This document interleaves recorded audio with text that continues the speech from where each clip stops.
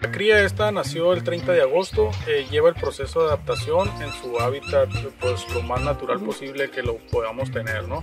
Eh, fuera del contacto humano eh, y se adapta poco a poco, va, ahorita pues está en la lactancia, apenas ahorita ya miré que empieza a agarrar su, un poquito de forraje que les damos de comer a los hijos. Normalmente nacen como de 35 a 40 kilos, ahorita yo creo que ya tiene un peso como de 50 a 60 kilos.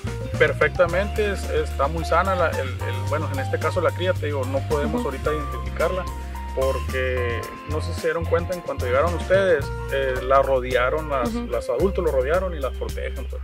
Entonces, eh, no, todavía no la hemos podido sexar, aún no le ponemos nombre.